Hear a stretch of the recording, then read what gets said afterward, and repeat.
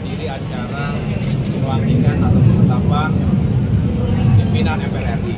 Setelah dua hari yang lalu kita sama-sama menyaksikan pelantikan pengambilan sumpah bagi anggota DPR RI, DPD RI, dan MPR RI yang baru untuk periode 2024-2029. Saya tentu uh, mengiringi doa sekaligus juga memberikan support lahir batin kepada Mas Didi Baskoro Yudhoyono yang kami tetapkan sebagai pimpinan, salah satu pimpinan di MPRI mewakili fraksi Partai Demokrat.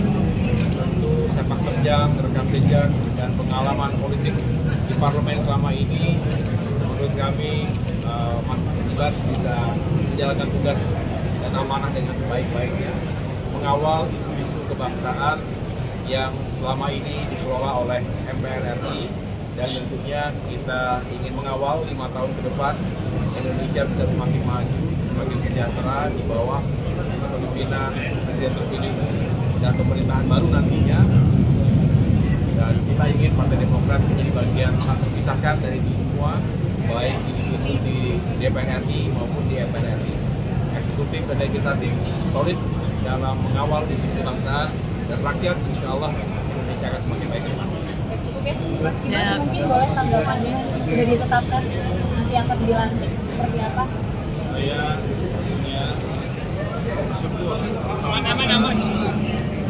terima kasih dan mohon doa pada proses yang akan kita lakukan ini biasanya ini berjalan dengan lancar saya mengawali dengan sangat baik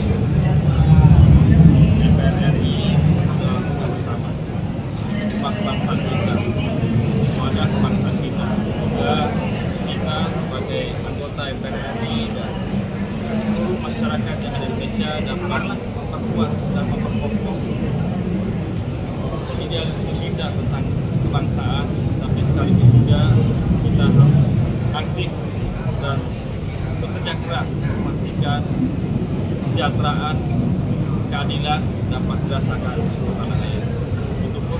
Juga keinginan agar kolaborasi antara DPR, pemerintahan dapat benar-benar dicipta